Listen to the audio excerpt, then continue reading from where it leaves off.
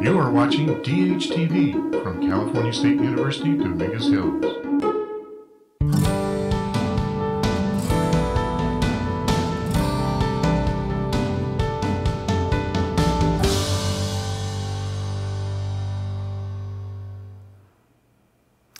Hello, everyone. Welcome to the new semester. My name is Professor Gus Martin, and this is Criminal Justice Administration 446 Terrorism and Extremism. This course uh, will be unlike any other course possibly that you have taken. Uh, it is different in the sense that it is multidisciplinary, and there's a great deal of, of newness, if you will, with this subject area. During the semester, we will explore the foundations and the explanations for both terrorism and extremism. Uh, frankly, I think you may learn everything you always want to know about terrorism, which is not such a bad thing because it is very much a part of our, our culture at the moment. This is an interesting subject. Um, it can be a complicated subject. There, are, there is a great deal of, um, of politics involved with this, political perspectives. We will combine the realms of ideas and events. And in effect, this course is primarily about ideas and events. So let me just introduce myself uh, for a moment. My, again, my name is Gus Martin. I'm a full professor here at California State University, Dominguez Hills. Um, I have been here since January of 2001. I was an attorney by trade before I entered academia, and I worked for a, a New York congressman for several years in Washington, D.C., and also did some other work in Washington, D.C. I eventually um, uh, took a position in the U.S. Virgin Islands in the Caribbean as special counsel to the Attorney General there, and then returned to graduate school where they talked me into a PhD. I'd never considered it before, but they did talk me into it, and uh, I then entered academia. I began teaching at the University of Pittsburgh, and then I took a position here at California State University, Dominguez Hills. Um, while here, I was an associate vice president for faculty affairs for nearly eight years and I was Associate Vice President for Human Resources Management for nearly two years. But now I'm a full-time professor in the Department of Public Administration in the Criminal Justice Administration program within the department. Um, this particular lecture this evening will, will be uh, a nuts and bolts uh, informational lecture, and then we will get into the theory of terrorism and extremism. You will acquire a good understanding of what terrorism is and the nature of extremist ideology. In general, most of the ideas portion of this course will have a moderate level of complexity.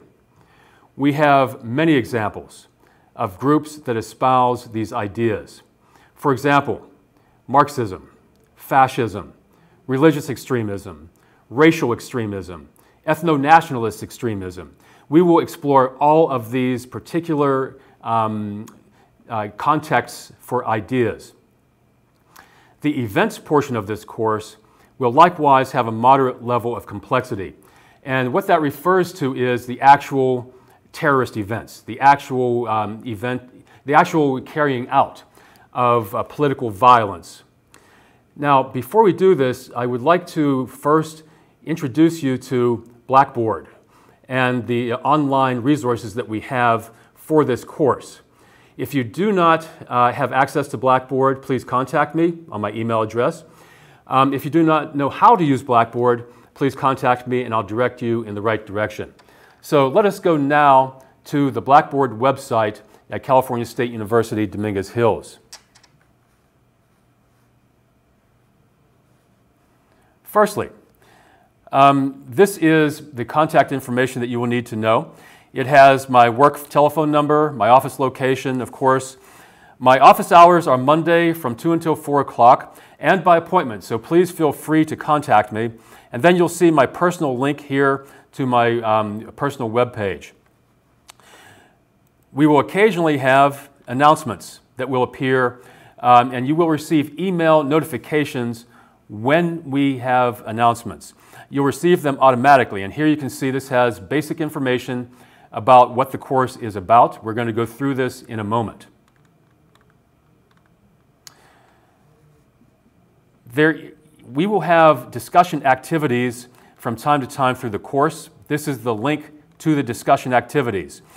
what we will do is I will notify you about what the parameters are, what the requirements are, but we will have several discussion activities that you will be graded for. Here you see a, web, a, web, a page that is dedicated to the research paper that you will write for the course. You can see that you will upload your paper topic on the 9th of October, research paper outline on the 30th of October, and the research paper on the 11th of December. Understand one thing, that you're uploading them to this website using Turnitin technology, which means you're not simply turning it in, if you will. Um, this particular technology will check your paper or anything else you upload, your discussion activities, for plagiarism. It is actually a remarkable technology because it will cross-check what you have written, and if it has been said somewhere else, I will receive and you will receive notification that it was said somewhere else. So please understand that that is what we are doing with this Turnitin technology. Now, what I would like to do is take us to the syllabus site. Here we have the syllabus. And if you click on it, well, first, please, please look at this and say, and complete the biographical profile that is included in the course syllabus. And turn it in to me once you have completed it. Now, this is the syllabus. At the top are, is basic information about how to contact me on the right side. And then on the left, what you will see is the uh, actual broadcast information and meeting information. Live broadcasts will be on Wednesdays from 1 until 3. Streamed broadcasts will be on Wednesdays at, from 3 to 5 and archived broadcasts will be on YouTube channel CSU, or excuse me, CSU DHTV. For the course overview, this is the context of the course. We will essentially use the United States as a case study, but we could also use other reference points, and we will use other reference points. For example, the Middle East, um, the United Kingdom, Latin America, Africa, and elsewhere will also be used as reference points. The class is conducted online and via televised lectures. You can see the local stations, the local channels where the uh, televised lectures will be broadcast from in different communities. There will be streamed lectures on the DHTV website, and there will be archived lectures on the YouTube channel CSU DHTV. As you can see, the archives, uh, the archive broadcast will be done 48, or excuse me, 24 to 48 hours after the initial broadcast. The learning objectives are included here. Uh, learning objectives, again, will, are intended to stimulate critical thinking. Course requirements. Firstly, the book is um, Understanding Terrorism, 6th edition, written by by me, by Gus Martin. Um, the sixth edition is the one that you should, be, should look at because it is an upgrade from previous editions. There is a student study site um, published or used by Sage Publications.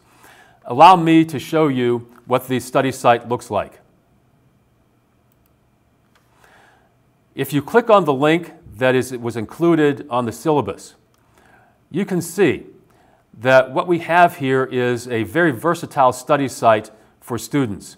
Every chapter is listed, and you can see there are quizzes, there are electronic flashcards that you can use, there are journal articles that are very relevant to each subject, and you can use them for your research paper, recommended readings, and then web resources and exercises. So all of these are intended for your benefit as you go forward with the various requirements of the course.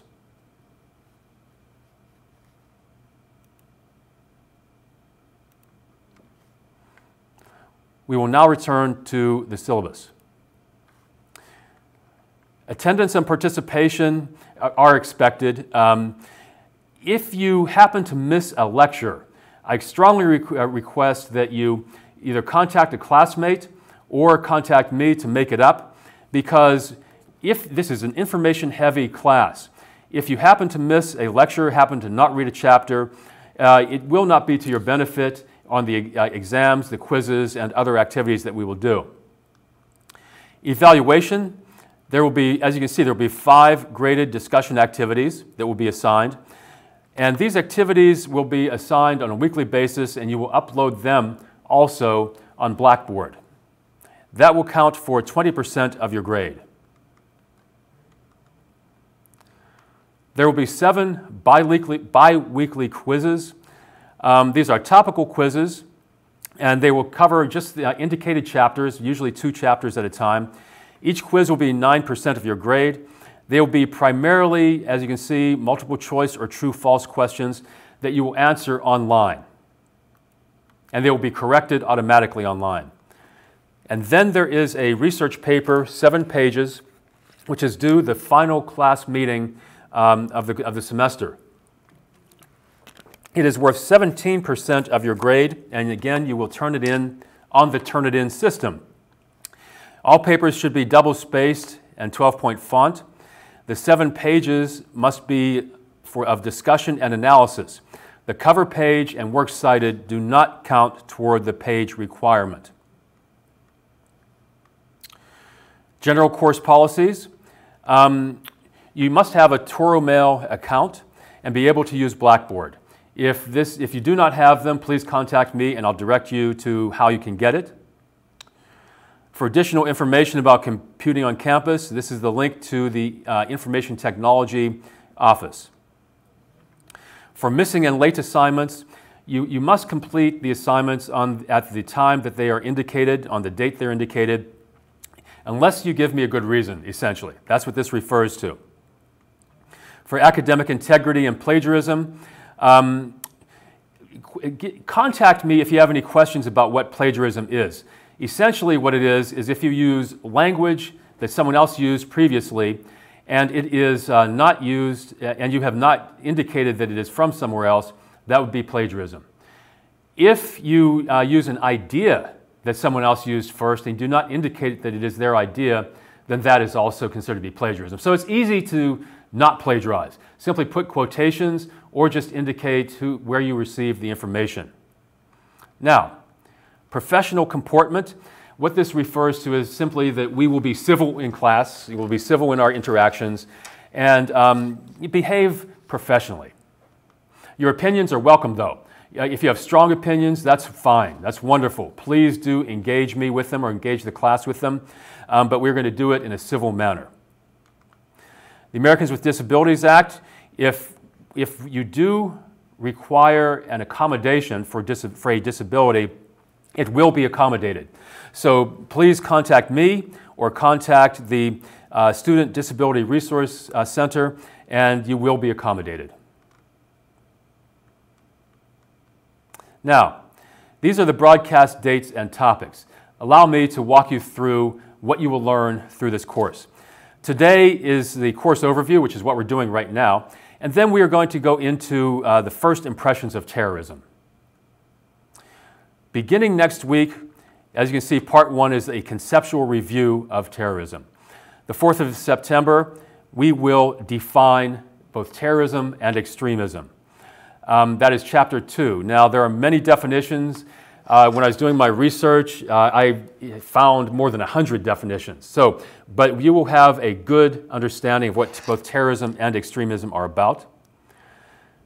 The 11th of September and September 11th is a, uh, a, a, seminal moment in our history, in the globe's history, because of the attacks in 2001. Um, we will look at the causes of terrorism and extremism. And there are many causes. We will become sociologists, psychologists, criminologists, etc. Quiz number one will be due on that day, and it will be for chapters one and two. 18th of, sep- of September, we will look at terror from above, which is state terrorism. Um, most people believe that terrorism only occurs with uh, dissident groups with these organizations like Al Qaeda, like the white nationalists in the United States or Islamic State. But that is just one typology of terrorism. We are going to explore many, several typologies. Um, one of them is state terrorism, and just understand that states have many more resources than these terrorist organizations do. States can wage domestic or international terrorism on a massive scale. And many more people have been killed by governments than by these terrorist organizations. But we'll, that'll be explained later. Discussion activity number one is also due on 18th of September. 25th of September, we will explore the terrorist groups, meaning dissident terrorism. Um, these are the groups that most people uh, associate with terrorism, but remember, it is only one typology. Quiz number two will be due on that day also. And then, the modern environment, uh, simply put, has religious terrorism at high tide. Um, there, the world has gone through several environments in which a particular type of terrorism is prevalent. In the modern era, it has been religion. Um, we are not going to criticize a particular faith um, tradition. We are not going to criticize a particular religious tradition, but we're going to look at some facts about what religious terrorism is all about, especially the history of religious terrorism, because this is nothing new. It goes back thousands of years. On that day, we will also have a discussion activity that is due for chapters 4 and 5. 9th of October, um, your research paper topics are due, and there's a quiz that is due. So the, both will be uploaded uh, on Blackboard. We will look at ideological terrorism, though. Now, understand something about ideology. Here we are talking about political systems of belief you have probably all heard of communism, anarchism, fascism, etc. But you know, th there is uh, a modern uh, context through which we're going to, modern lens through which we're going to look at ideological extremism and terrorism because even though the high tide of left wing and right wing terrorism uh, seemingly um, is in the past, there is a new growth, especially in right wing terrorism, right wing political violence globally in uh, the democracies in Europe, also in the United States. Some of the incidents that have occurred in the United States are a direct result of ideological belief systems. On the 16th of, of October, we will look at international terrorism, which is when um, the revolution spills across the borders into the global environment, essentially. And then we're going to look at emerging terrorist environments. It is important to keep in mind that uh, when we talk about terrorist typologies, not everyone agrees that some forms of violence are a separate terrorist typology. My argument is that there are emerging environments. And feel free to disagree with me, but my argument is that there is such a thing as gender selective terrorism in the world. There is also such a thing as criminal dissident terrorism in the world. Now, this does not mean that our domestic street gangs are terrorists, and we will explore that. What it does mean is that in some environments, in Colombia, in Mexico, in Southeast Asia, in Afghanistan, there are um, certain groups that are motivated by profit, which we would call criminals, but they do confront authority. They assassinate judges, they assassinate journalists, they assassinate politicians. That is criminal dissident terrorism. We don't have that in the United States. Hopefully, we will not have it in the foreseeable future. Now, after we explore those emerging typologies or environments, we are going to begin looking at the terrorist trade and counterterrorism. Your outlines will be due on October 30th, but we're going to look at tactics and targets of terrorists. Um, understand what we mean by tactics and targets. It is what they do and how they do it. Uh, terrorism is not random, and it is not a, um, a manifestation uh, necessarily of mental illness. It is well thought out. Terrorist violence is symbolic, and there is always a reason for it. That, so that's one bottom line. The other bottom line is that when we look at um, how they carry out their, their violence, it, it it can be as high tech as the attacks on, that we saw on September 11, 2001, in which they used our own technology against us. They converted uh, uh, airliners into ballistic missiles. but it can be as low tech as edged weapons, knives, hatchets. Remember that the weapons that the terrorists used on 9 11 were, uh, were simply box cutters when they killed the pilots and just flew the planes into the buildings. So it can be either high tech or low tech. But the traditional weapon of the terrorist for generations has been the gun and the bomb. We will explore these weapons. After that, the next The next subject we'll look at for the trade will be the role of the media. In other words, propaganda. Um, we are going to look at the technologies of, um, uh, that we see in the mass media, broadcast technologies, the role of the internet, which is relatively new. When I first began my research, the internet was not a real weaponized uh, instrument. It is now weaponized, as is information, as are the media. So we will explore this um, in, in some detail. And then we will begin a case study. Uh, the case study of terrorism in the United States, and it is only a case study. Remember, there are many other case studies, but this one is familiar uh, to us. The United States, um, or I should say, we in the United States, uh, part of our culture is that we believe that terrorism occurs somewhere else, carried out by people from somewhere else, that is not the case. We have a long history of domestic terrorism in the United States.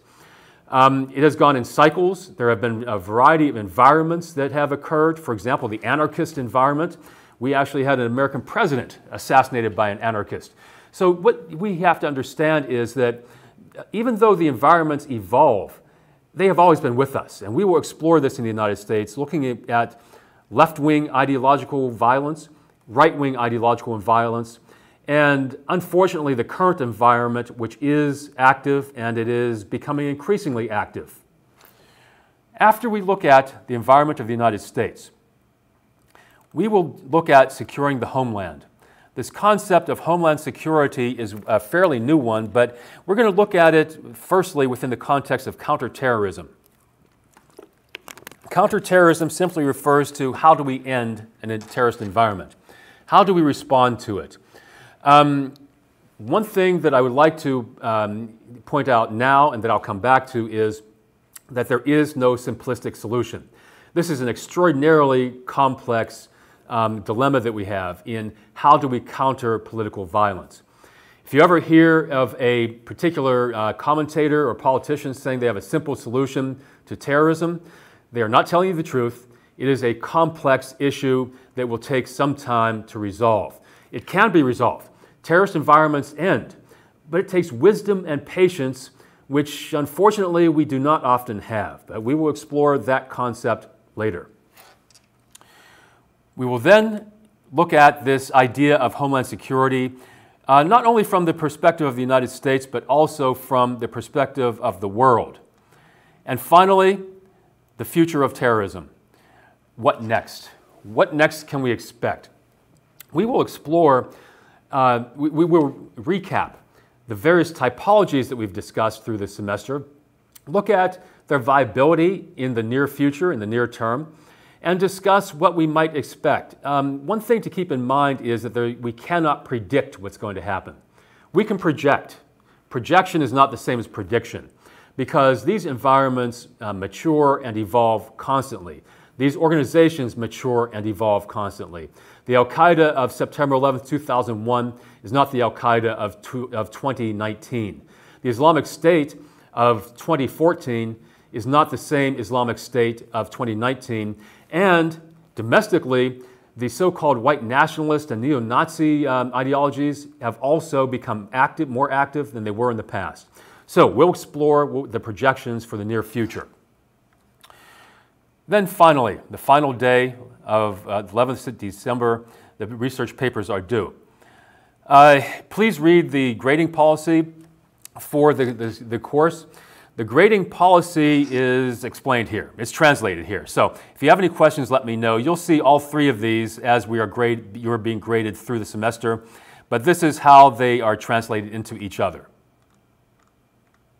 Grading criteria. Uh, here you have a summary of the discussion activities, the quizzes, and the research paper, and then how your grade um, will be determined. The student studies study site, there's a link here, another link to it. and then extra credit. It is very possible that you will have extra credit during the semester. Um, if I do, understand that extra credit is extra. It is optional. It means that if you do not have, you know, participate in the extra credit, there will be no penalty. You will not be docked. If you actually do participate in extra credit and for whatever reason have a bad day and really are not in compliance with the requirements of the extra credit, you will not be docked either. Extra credit is extra and it is a grade enhancer at the end of the semester. There is an explanation of the research paper in the syllabus. Please read through it. Understand that uh, several things. One is that it must contain seven pages of discussion and analysis. You must use American Psychological Association citation form. There are links in here to APA citation form. The papers should contain an introduction, which means you're just telling me what will, uh, you are going to discuss issue identification, which is the problem you're identifying, background about it, and then your analysis, your opinion. I'm looking for critical thinking. If you decide, for example, that a, uh, what is considered to be a terrorist group is actually a, a group, uh, a freedom fighting group, that's fine. But I want to know why. I want to know why you came to your conclusion. So your analysis is very important. It has to be very critical. And then your conclusion, where you tell me uh, you know, how you've concluded after your analysis. Then finally, on the um, syllabus, you'll find a biographical profile for this semester. It is not required, but it does help me later, uh, even after the semester is finished. Just give me your basic information about who you are, what you're interested in, where you are in your studies, um, and perhaps maybe a short statement of what you want to do later in life. Do you want to go to law school? Do you want to go to graduate school? Are you interested in federal service, in local service? All of that is helpful, and if you happen to need a reference, recommendation later on in life, um, I will keep these and I'll have them. So you can either deliver them to me during my office hours, on, uh, or you can just slide them under my door, or send me an email and I'll take an electronic copy. So, as we go through this, and that is it for this, the, um, the syllabus, as we go through our discussion today, if you have any questions, please either send an email or dial in. The, the email address is on the, um, the screen at the moment, and I can will read it and I'll answer whatever question you might have, whether it's about the nuts and bolts of the course or about any subject we are discussing. And feel free to dial in also at 310 928 7330. That's 310 928 7330. And we can have a conversation, short conversation, if you have any comments or questions. Now, let us continue. And what I would like to do is, under, is have you understand what the course will be about by looking at a short PowerPoint presentation. So let us go to that now.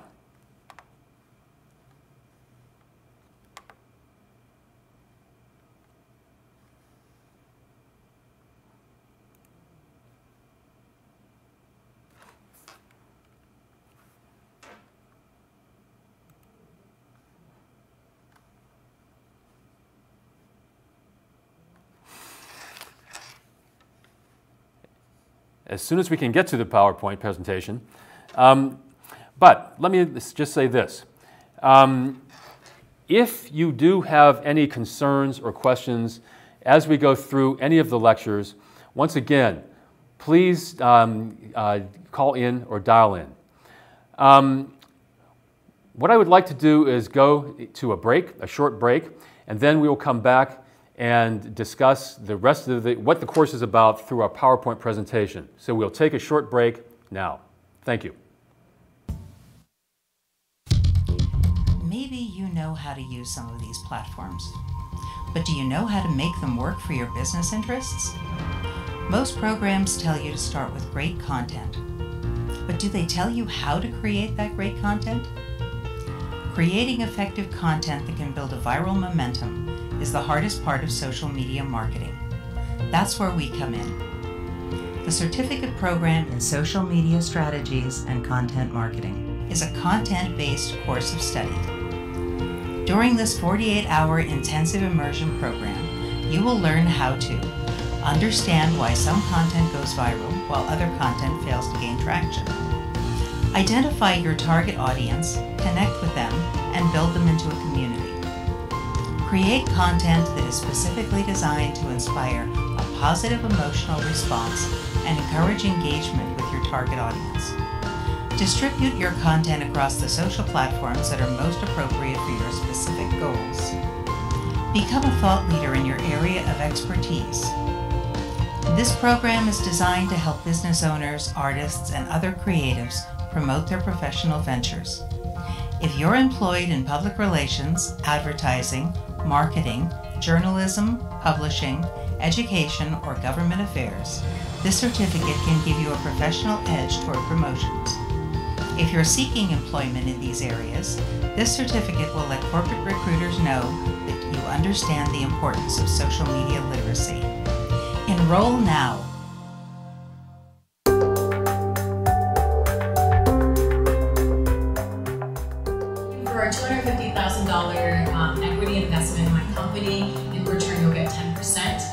are we going to fund this? We are going to be a nonprofit organization. We are looking to the Gates Foundation to help us cover our costs.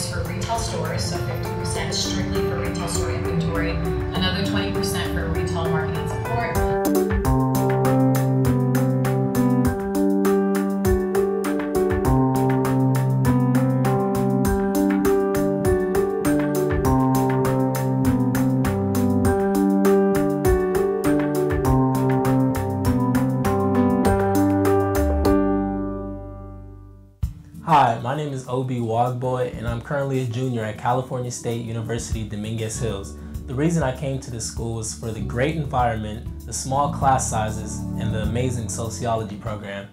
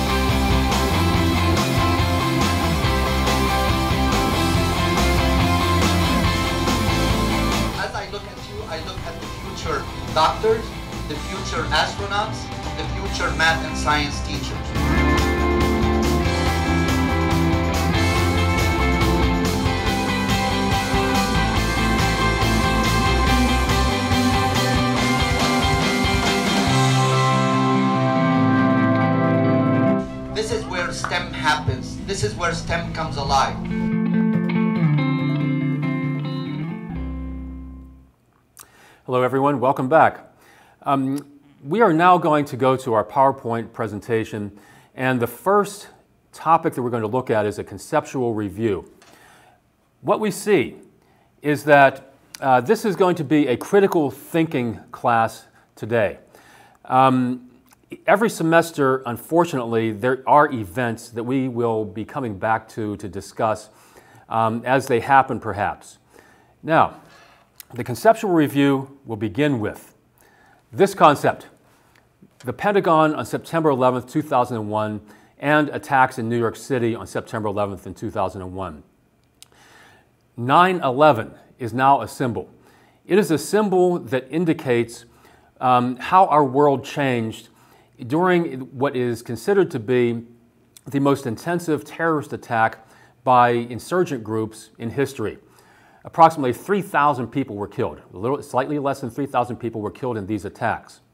So just understand that this is the beginning point for many of our, what many people think is the modern environment. As you'll see, though, historically, there have been many other environments, but this is the one attack that truly caught the world's attention.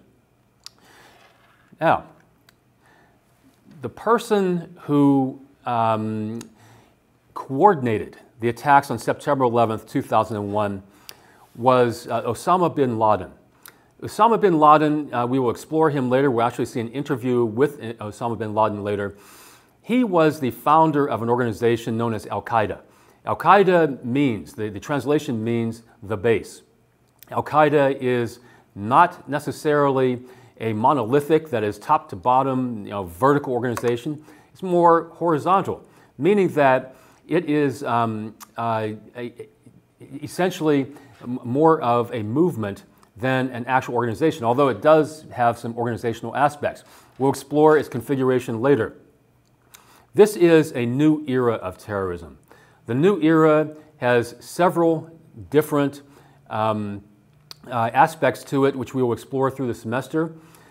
Not the least of it is this idea of cell based uh, organization, the use of um, highly lethal attacks rather than symbolic, only symbolic attacks, and this concept that, there, that the, this particular revolution will never end in their minds. So we'll come back to that a little bit later. Let us now put our, get our brains working and begin our critical thinking by looking at terrorism and first impressions. And what we have to think about is what are the goals of terrorism? What are the outcomes that terrorists seek? Clearly, look at the word. They are seeking to, it's a war in our brains, a war in our minds. They're trying to promote terror and also disruption in our routines. Our routines are disrupted uh, fairly frequently when a terrorist uh, incident occurs because they adapt their tactics to how we respond. It is also, in their minds, a, a form of low intensity warfare, meaning a poor man's warfare, if you will. In their, from their perspective, it is perfectly legitimate to uh, carry out what we call terrorism, but what they believe is essentially um, low intensity warfare. Terrorism can be effective. It can be useful from their point of view. It is useful in terms of propaganda value, meaning the message that they send out, the fact that we talk about it, the fact that we report it in our media, and that our politicians and other leaders change the laws because of terrorist attacks. And sometimes it works. Sometimes the demands of the terrorists are met. It has happened periodically. For example, during our um, occupation, during our, uh, uh, uh, our, our, our the, the deployment to Iraq, what we saw was that the Americans deployed the most, the highest number of troops, United Kingdom the second largest, and Spain had the third largest number of soldiers. So in Spain, on March 11th, 2004, there were a series of attacks against various um, transportation hubs in Spain, including the Atocha station in, um, in Madrid, in which dozens, scores of people were injured or killed. Spain immediately pulled out its troops. Its government, which was a conservative government, collapsed, and a more left-wing government uh, took over, and, they, and so their deployment to Iraq ended. So that was an effective terrorist attack. Now, the first considerations that we're going to look at. Firstly, an overview of extremism and terrorism, and then terrorism at first glance, and then the sources of terrorism and, and of extremism and terrorism. Now, to begin with, the overview of extremism and terrorism. Firstly, extremism can be defined as a quality that is radical in opinion, especially in political matters. It's ultra and advanced. Um, we cannot study terrorism without studying extremism. Extremism is, are the reasons, it's the foundation for why terrorism occurs in the first place. Um, so think in terms of reasons, uh, justifications for what we call terrorist behavior, but that the other side considers to be freedom fighting. This takes us into a murky but interesting world of ideas. We will explore a number of ideas in this course. Terrorism is politically motivated violence, usually directed against soft targets with the intention to affect a, um, a targeted or audience. What this means is simply engaging in violence is not terrorism. Simply engaging in political violence may or may not be terrorism. It could be what we call in the United States a hate crime. But if it is intended to affect a target audience, if it is intended to affect the behavior of your, your symbolic target, then we enter into the realm of terrorism. Many of the attacks in the United States are both terrorism and a hate crime. We will look at several incidents today, actually, which are both terrorism and a hate crime. All of this will become clear as we move forward during the course. Terrorism at first glance. Remember that perpetrators always claim to champion a noble cause and or value. There is a nobility to what they are doing, even if they are killing innocent people. Advocates always cite righteous goals to justify their behavior. They have a higher calling. They have a code of self sacrifice, and we will explore codes of self sacrifice. The perpetrators uniformly maintain that they are freedom fighters or champions of law and order. In other words, from their perspective, they're the good guys. From their perspective, they're perfectly justified in carrying out what we consider to be completely unjustifiable acts of violence. We will look at all sides. And what I challenge you to do is to step into the shoes of extremists. We will look at extremist websites, we'll look at extremist individuals, step into their shoes, just so that you can see the world through their lens. It's very important in order for us to have a critical assessment of what extremism is and what terrorist violence is.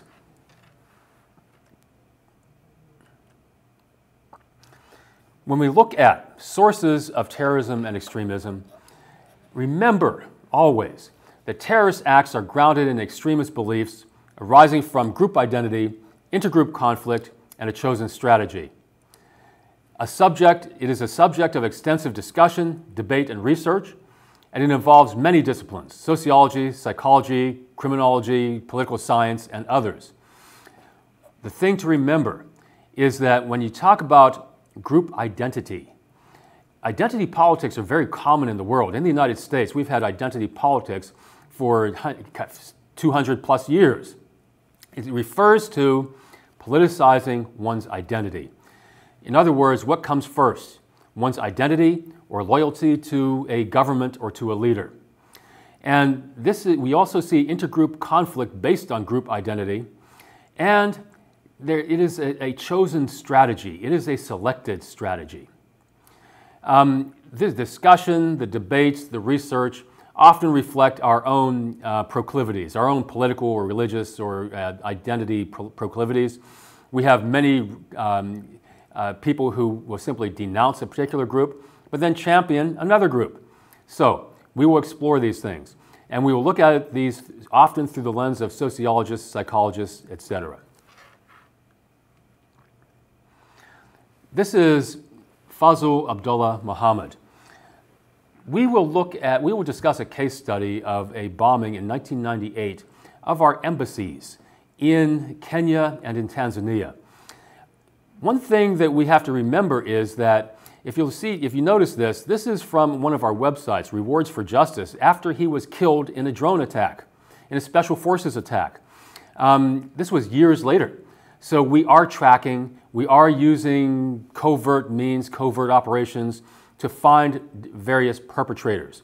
And that is part of the counterterrorism conversation that we're going to have later in the semester.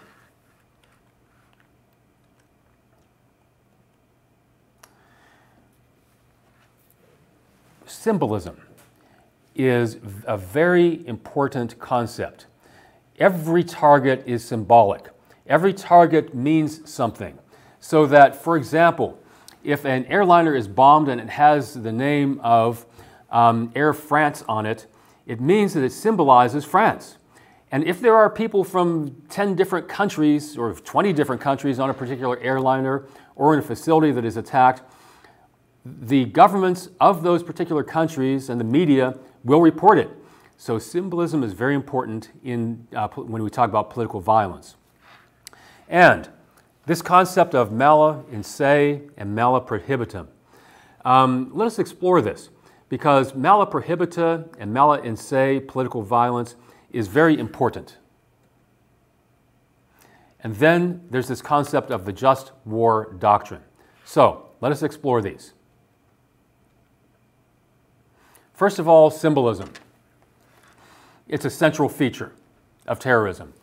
It is central to the terrorist public relations and propaganda campaigns.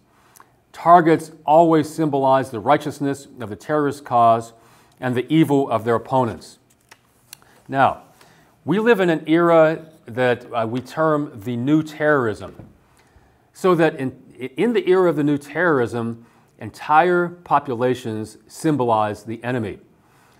In the era of the old terrorism, which was, is pre 9 11 or you know, going into the 1990s, actually, targets were, were selected very surgically in their own way. So that um, high body counts did occur, but that was not the primary goal, the primary objective of a terrorist incident. Sometimes a terrorist group would phone in uh, a warning for that an attack would occur, a building would be evacuated, then a bomb would go off. Now, there were casualties, without question. But the central feature of the new terrorism is that entire populations are considered to be the enemy, and therefore civilians are fair game. The bomb in the marketplace, the airliners on 9 11. There are dozens and dozens of examples of the new morality and the new symbolism of the new terrorism. We will come back to morality again and again because, from their perspective, it is all perfectly justified. Osama bin Laden, as you will hear in an interview that we will listen to later, simply says, you know, very clearly, all Americans are the enemy, regardless of whether they are civilian or security forces. Now, what we see is the World Trade Center on September 11th, 2001. When we discuss morality, when we discuss symbolism, the World Trade Center was not simply an American symbol, although we tend, tended to think of it as that. It was a symbol of Western prosperity. It was a symbol of the enemy West. So, yes, it, was, it occurred in the United States. Nearly 3,000 Americans were killed, but it symbolized the Western world, the Western democracies, the Western, uh, the, well, the, the global economy, if you will. And they were sending a message that we are at war with you. Now, the terms mala prohibita and mala in se are uh, criminal justice terms. They refer to crimes, but that, this is easily understood within the context of terrorism. Mala prohibita acts are simply acts that are crimes that are made illegal by legislation. They're not inherently immoral, wicked, or evil. And in, criminal law, criminal justice, gambling, prostitution, uh, legalization of marijuana are all mala prohibita issues. They're not evil in and of themselves. Mala in se acts are acts that are immoral or wrong in and of themselves. In other words, they cannot be justified. These behaviors cannot be justified in a civilized society, and they have no acceptable qualities. In criminal law, murder, rape, arson, and other violent crimes can never be legalized in a civilized society. Having said this, the question becomes whether terrorism is mala in se or mala prohibita. Well, uh, that is a debate. Now, we would see, it would seem to be very clear cut that engaging in violence against innocent people is always mala in se. But from the perpetrator's point of view, it is justifiable. We will come back once again to the morality of all of this.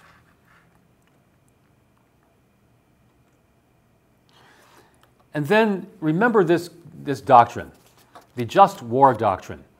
It is an ideal and moralistic philosophy that actually comes from about the third century um, after the, the, in the modern era. Um, it was uh, developed by uh, St. Augustine of Hippo. He was trying to identify moral conflict, and he designed something, firstly, called jus in bello, in which is correct behavior while waging war. In other words, one could not simply attack innocents and just slaughter people to extinction. That's correct behavior in waging war. Jus ad bellum is correct conditions for waging war in the first place.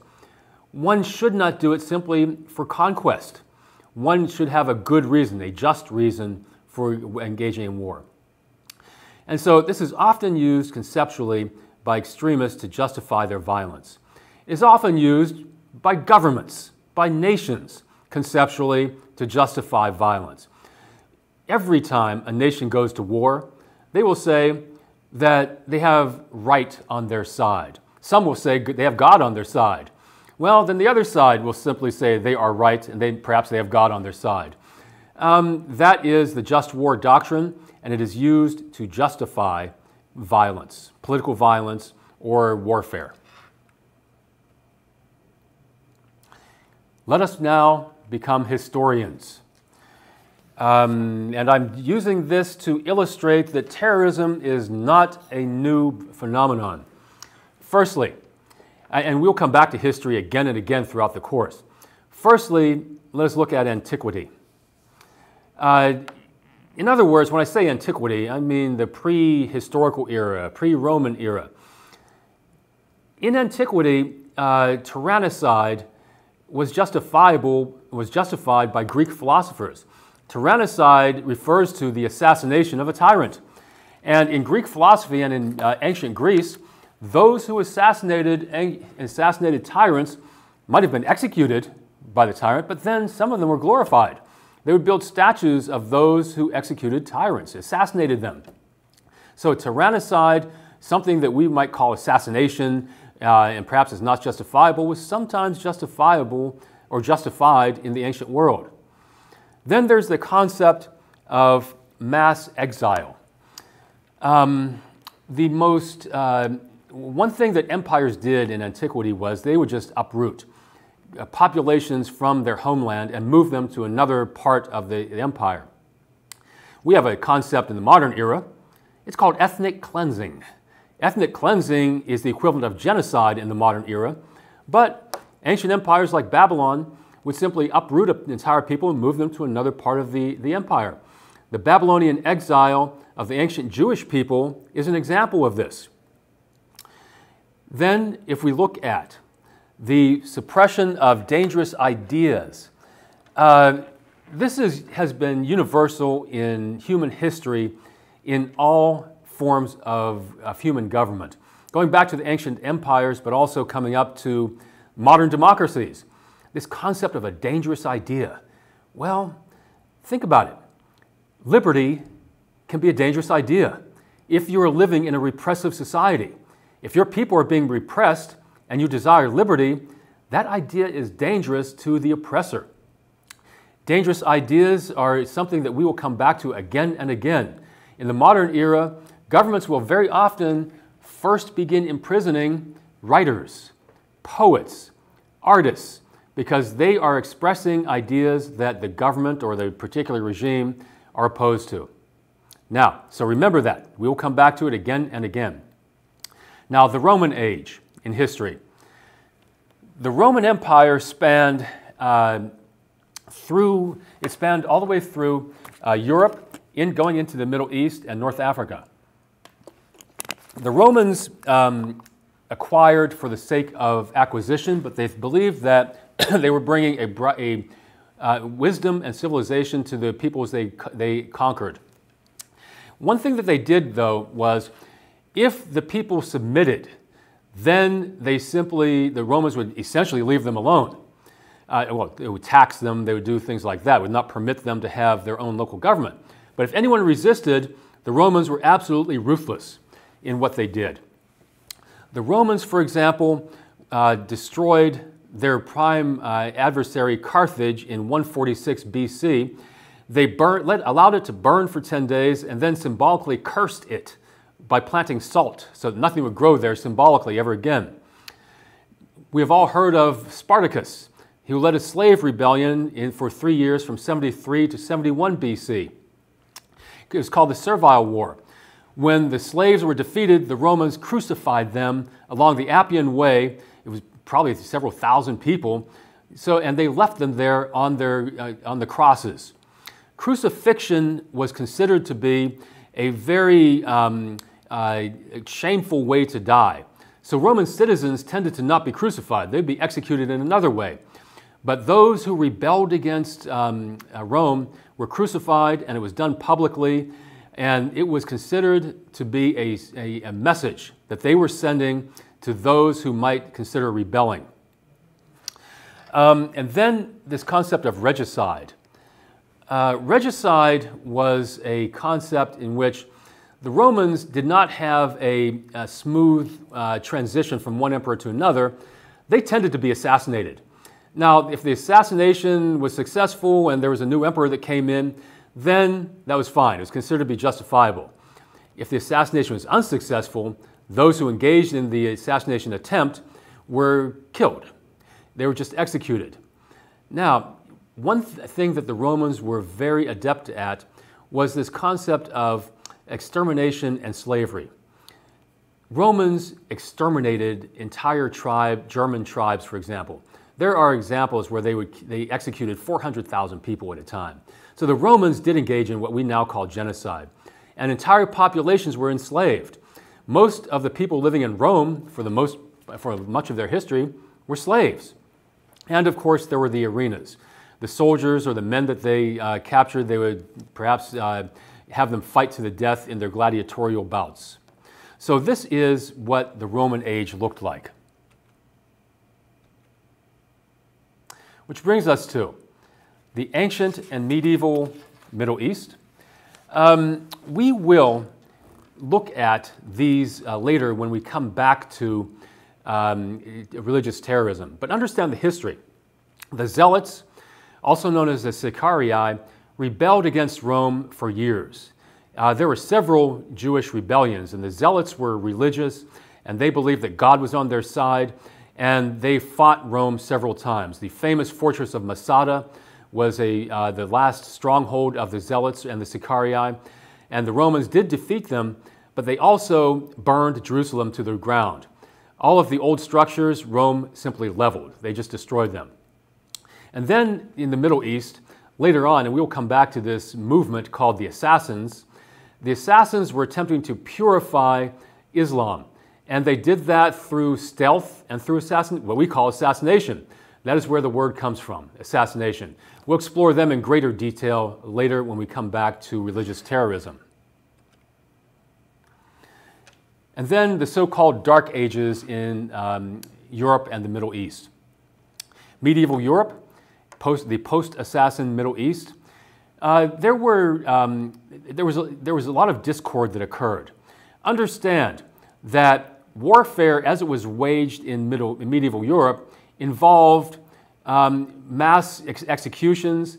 Warfare involved the extermination of entire cities, uh, the, the enslavement, the uh, elimination of entire populations. So, what we might now call ethnic cleansing or genocide was simply the way war occurred at that time in history. Which brings us to the modern era. The French Revolution was a violent revolution. It occurred around the same time as the American Revolution. Uh, the word terrorism was coined to describe what was occurring in the, during the French Revolution. There was a moment in which there were mass executions. The revolutionary tribunals engaged in mass, mass executions uh, through uh, starvation. They would imprison people. Approximately 200,000 political prisoners died in prison. And they executed people publicly using a device known as the guillotine, which beheaded people very quickly. Now, we in the modern era think that that is extraordinarily brutal, but remember how people were, had been executed prior to the, revol- the, the revolution in France. They were tortured. Were, there was hanging, drawing, and quartering in merry old England, which was a horrific way to die. So this was considered to be revolutionary justice that actually was swift and relatively painless. But between 17,000 and 40,000 people were executed in order for the revolutionaries to consolidate their power. It was known as the Reign of Terror, and they considered the word terror to be noble. The terror purified the revolution. Now, that is the first modern example of, the, of using the word terrorism. Which brings us to 19th century Europe, from, and these are examples from the left wing uh, of the, the ideological perspective. Anarchism and Marxism, firstly, were designed or were developed, were articulated during the, late, the mid to late 19th century. They are still with us. Anarchism and Marxism had their heydays of political violence and revolution. We will explore both of them in some detail because both of them are still viable in the world, although communism itself is not necessarily as viable as it used to be, but anarchists are engaging in violence. The so called Luddites were in the United Kingdom, in England. The Luddites operated from 1811 to 1815, uh, roughly 1816 they were known as the machine breakers. At that time, England was industrializing and moving people to factory towns, factory cities, and they were moving them off of the, the farms. The Luddites broke machines, quite literally. They used to destroy machines, essentially trying to stop the Industrial Revolution. Then, the last example from the 19th century are the, is Narodnaya Volya, also known as People's Will, from Russia. This is the first uh, truly modern dissident terrorist movement. The, the, the, the, People's Will used to engage in moral terrorism. They debated whether to be violent, debated whether to assassinate members of the nobility. Um, they assassinated a czar. I mean, they, but the thing is that they would debate this morally. They were the first true sort of anarchist dissident terrorist movement in the, in the modern world. Um, they used the gun, the knife, and the bomb, which is still very much part of the terrorist arsenal.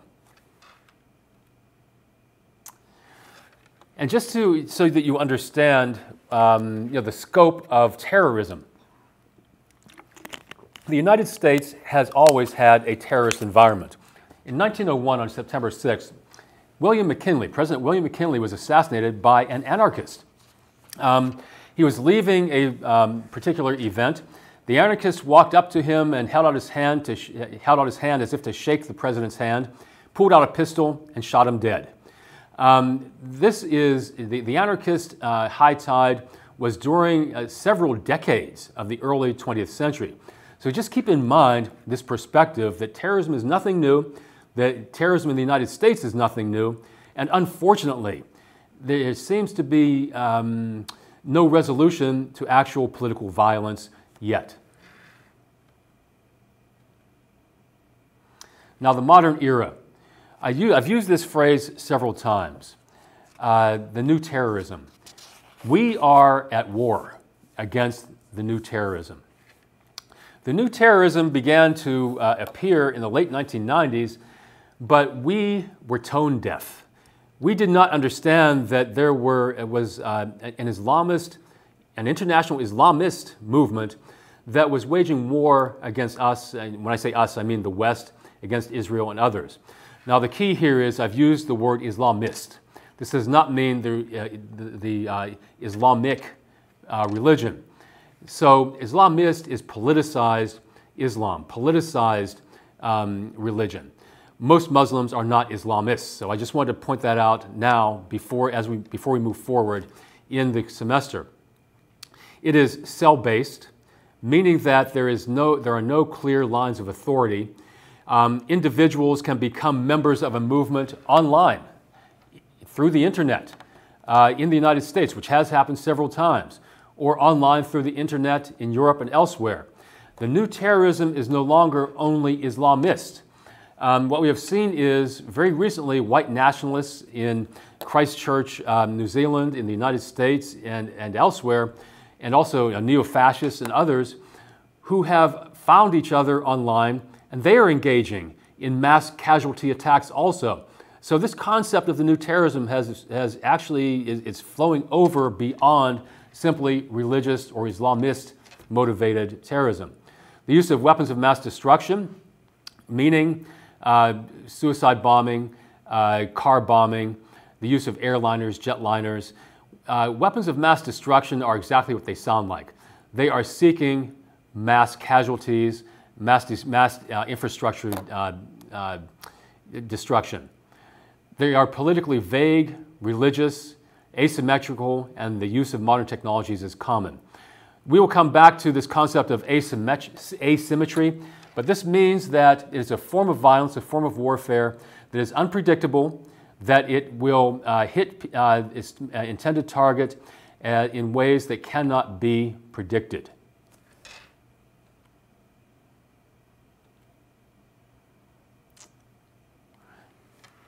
Now, we are now going to explore several examples of uh, the modern era and the war on, uh, on terrorism.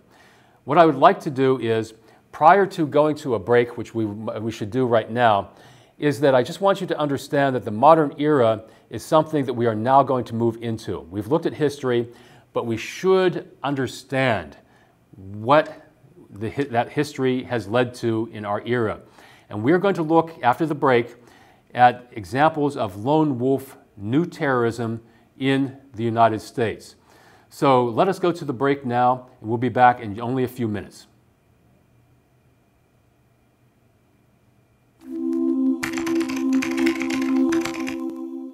You are watching DHTV from California State University, Dominguez Hills.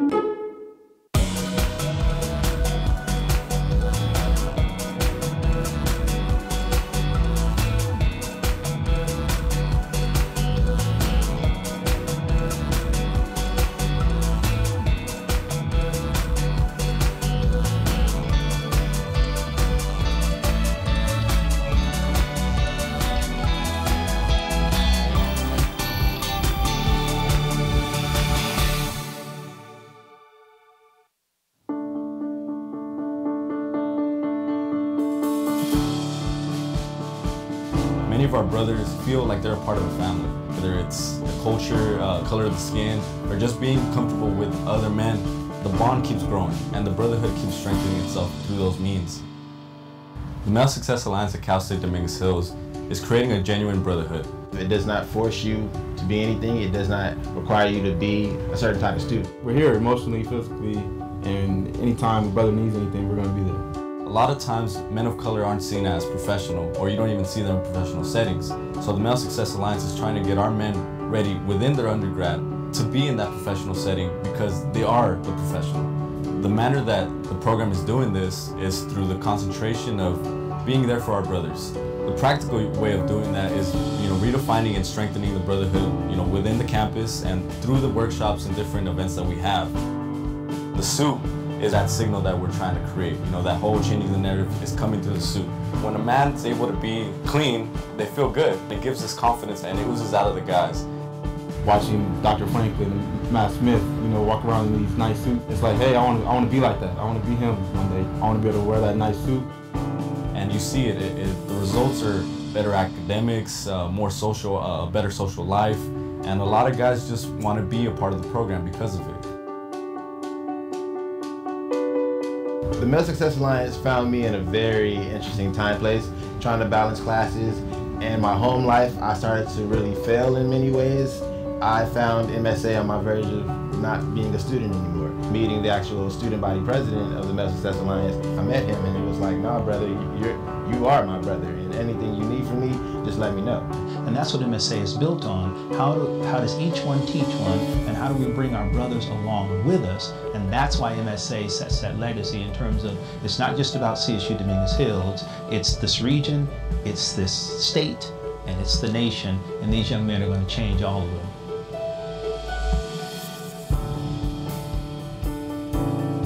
My name is Alex Guerrero, and I'm a Toro. My name is James Harris, and I'm a Toro. I'm Jordan Sylvester, and I'm a Toro.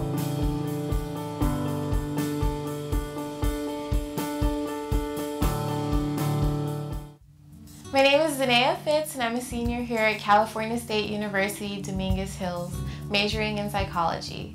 The reason I came to this campus was for its diversity and learning environment. Thank you.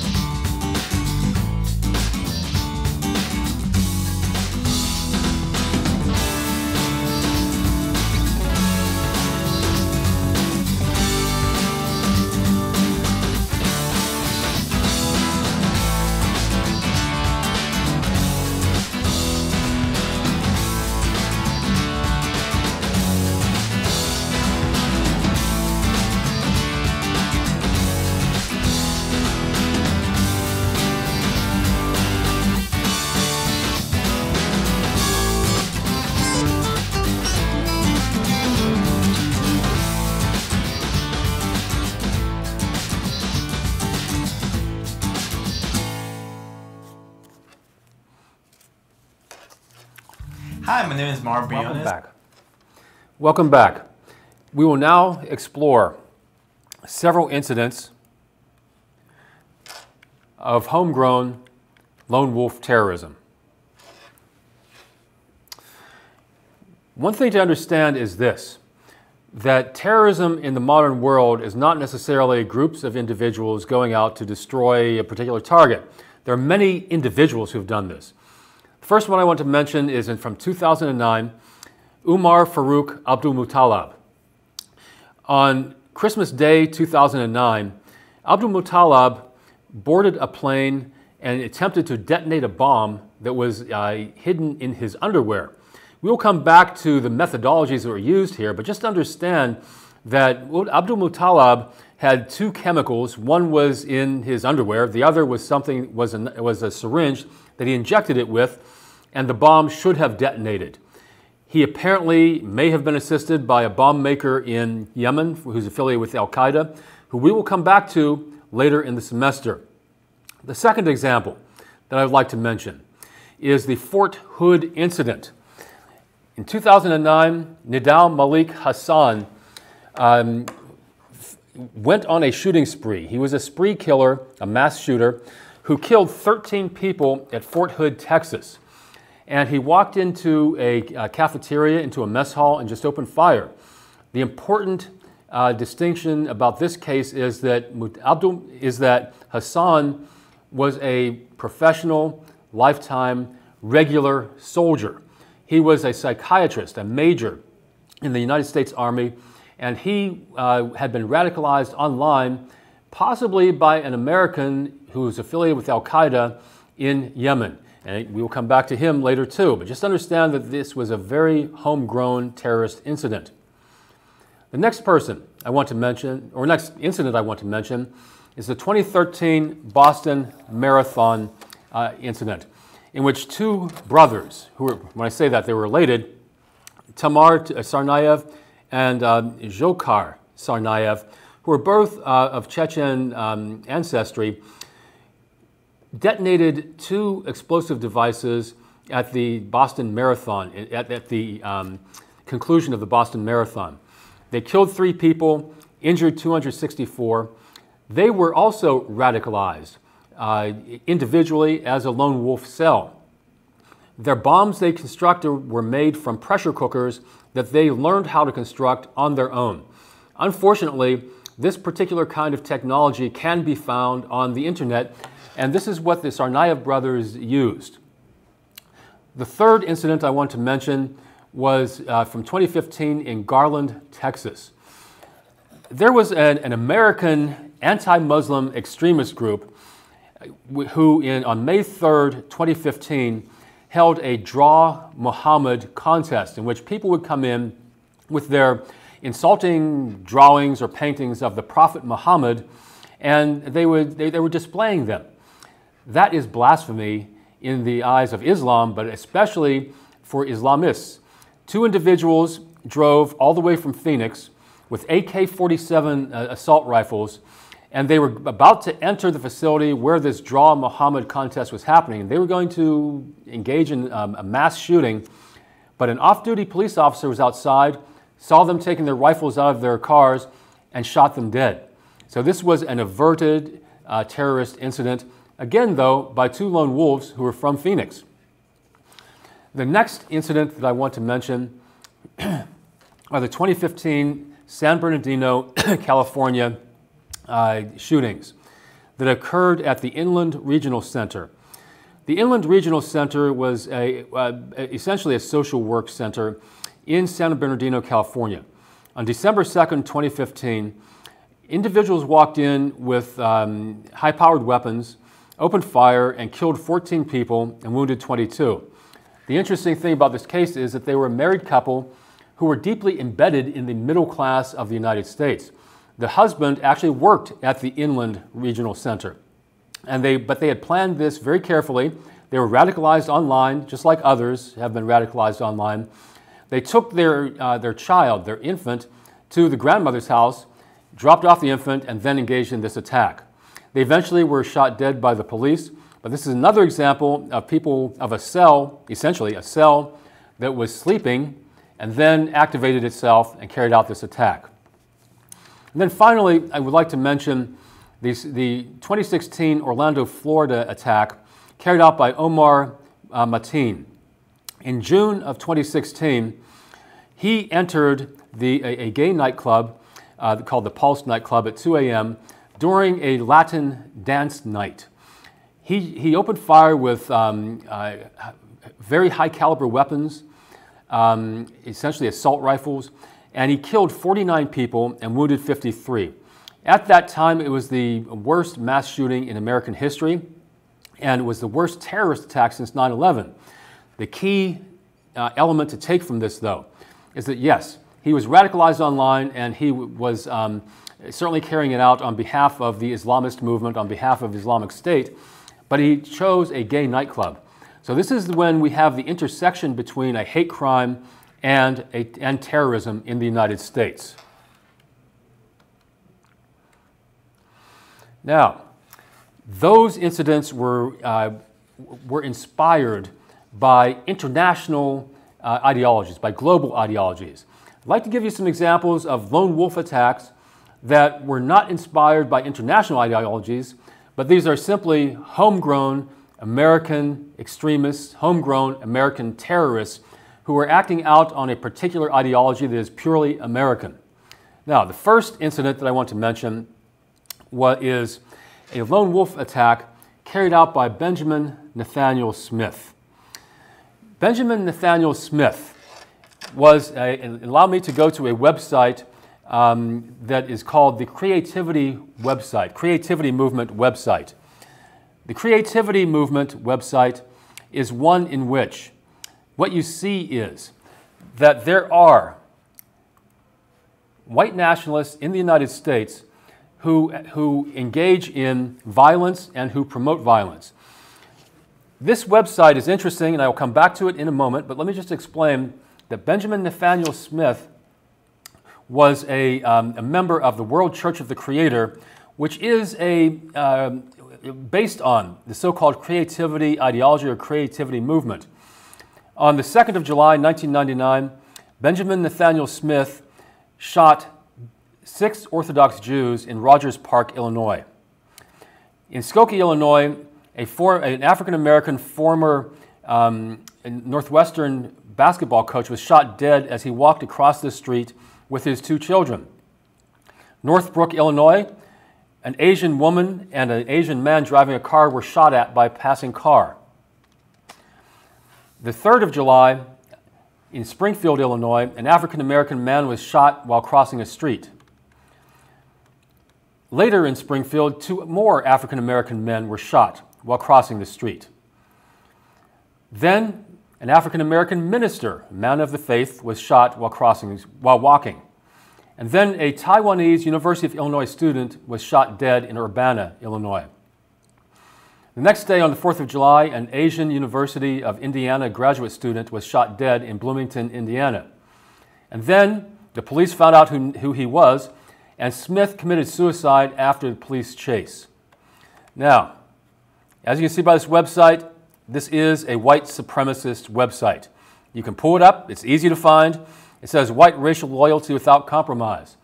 The creativity movement is one that we will come back to when we talk about the United States because they believe that the white race is God. Not that they represent God, but they are God. Now, look at this further.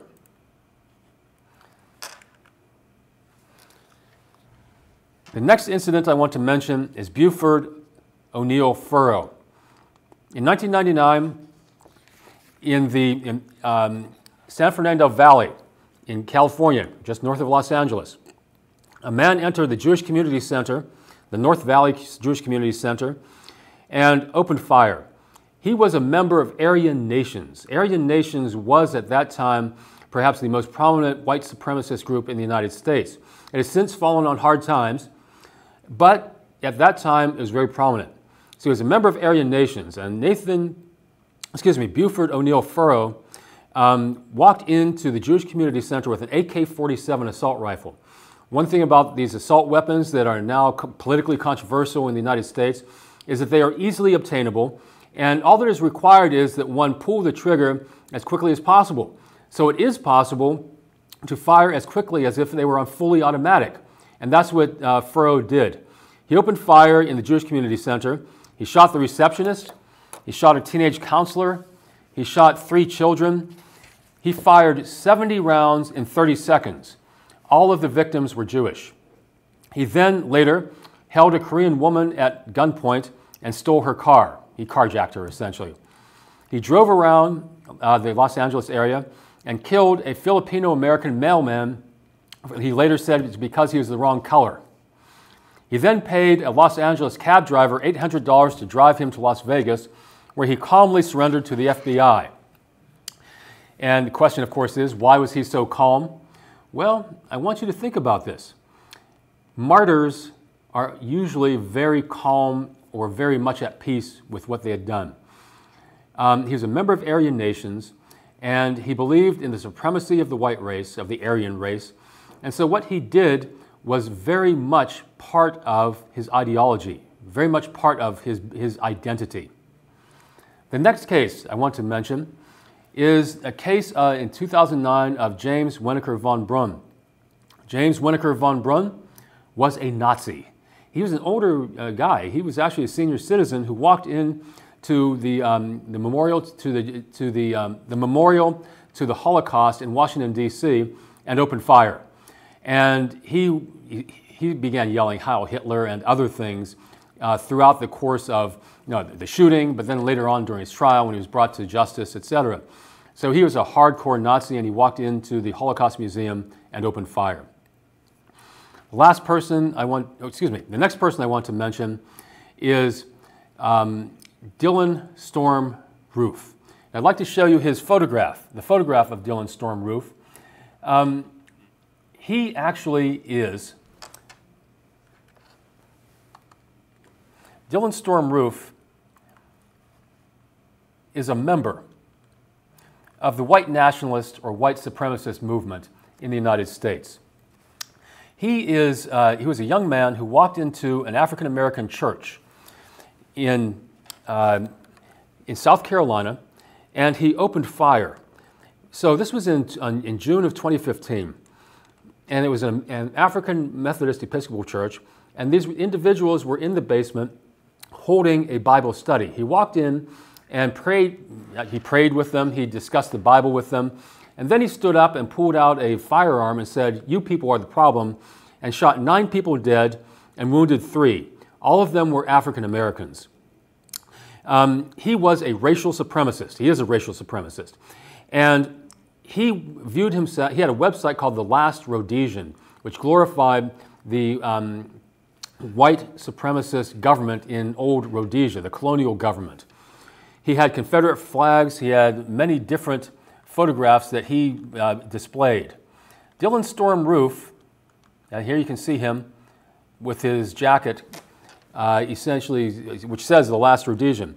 Dylann Storm Roof certainly engaged in a hate crime, but he also engaged in an act of terrorism because he thought that his um, act, his violent act, would inspire other people to carry out similar attacks and it would cause a race war. So we have the elements of terrorism, and the elements for what we, Ameri- we in the United States call a hate crime.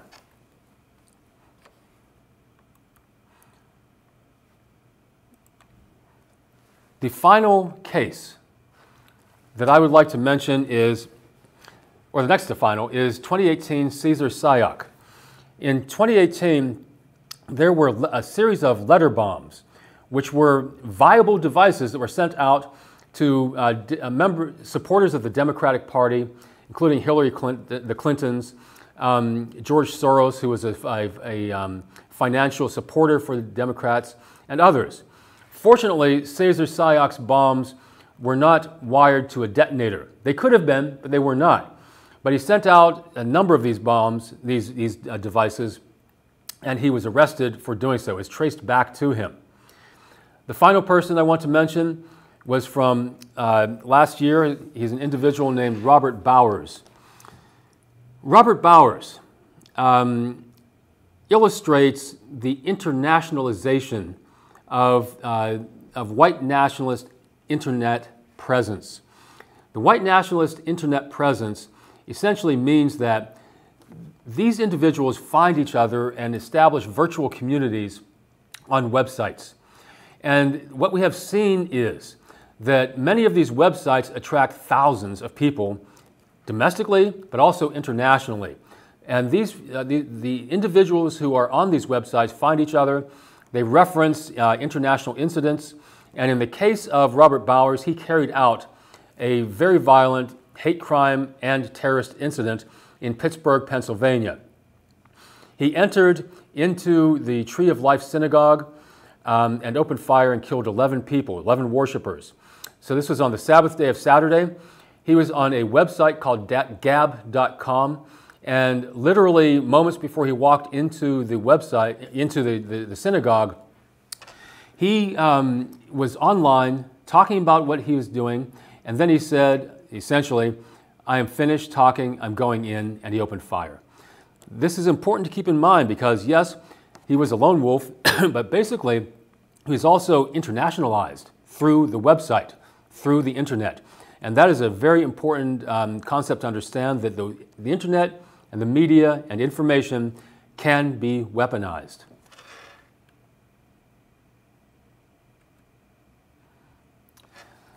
What I would like to do, so eh, let me first mention that these are the 10 countries with the most terrorist attacks in the world as of 2014 and 2015. Um, you can see that some nations have actual terrorist insurgencies going on. So I want to understand that internationally, globally, the terrorist threat is real, it is quite viable. But what I want to do right now is show you a video that was, um, represents what occurred in uh, Charlotte, Char excuse me, Charlotte, uh, Charlottesville, Virginia, on the campus of the um, University of Virginia. This was a Unite the Right rally. The Unite to Right rally was one in which um, neo Nazis, white nationalists, and others demonstrated against the, um, uh, the elimination of statues to Confederate soldiers. So, On the University of Virginia campus, there was a um, monument to, uh, to Jefferson Davis, oh, Robert E. Lee, excuse me. And they were demonstrating around the statue, and the next day, a, one of the white nationalists actually slammed his car into a crowd and killed one individual. But look at how this, uh, this played out. This is a short video, and observe the individuals in this video. They're very much in the open. They're, so what we see is that there is an overt expression uh, in the United States at the moment of this sort of ideology, and the violent incidents that have occurred are part of that overt expression. So let us now go to the video.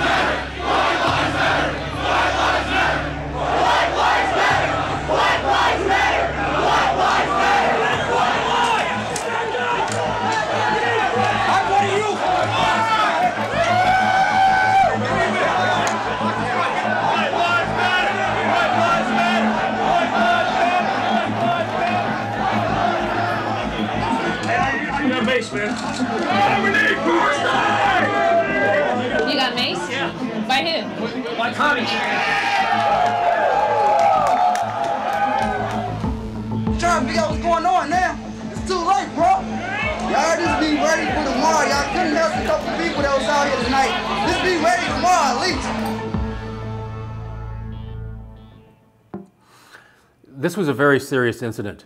And the potential for uh, future serious incidents similar to this one uh, exists. Several weeks ago, before the, this particular class, there was a similar demonstration by white nationalists in Portland, Oregon. And counter demonstrators, some of them members of uh, Antifa, which means anti fascist, also uh, uh, occurred, also came to uh, Portland, Oregon. Fortunately, there was no violence. Bottom line is this, though, that with this particular kind of demonstration, what we may see, I hope it doesn't happen, what we may see is a serious confrontation between far left, the anti fascist, Antifa, and the far right, the white nationalists. Um, the slogans that they were the, chanting, um, remember, they, if you recall, they were saying, Jews will not replace us. The key word there is replace us. That is a, it's called replacement theory. There is a conspiracy theory that the white race is being replaced, that the um, Aryan race is being replaced by migrants, by Muslims, by Jews, by African Americans, by Latinos, it goes on and on. And this replacement theory is not just American, it is internationalized. It actually began in France. Replacement theory was, was cited during, um, it was cited just before the attack in Christchurch, uh, New Zealand, in which dozens of people were killed in a Muslim mosque. He wrote a manifesto called The Great Replacement. So just understand, you, we have to, under, we have to um, recognize that these slogans, the symbolism, we'll come back to symbolism, we must be able to read it, and by the time you're finished with this particular course, you will be able to read it. And you will notice there are some uh, bumper stickers and other things that I have noticed driving around, even near my neighborhood, that reflect this kind of extremism. These are true believers. So,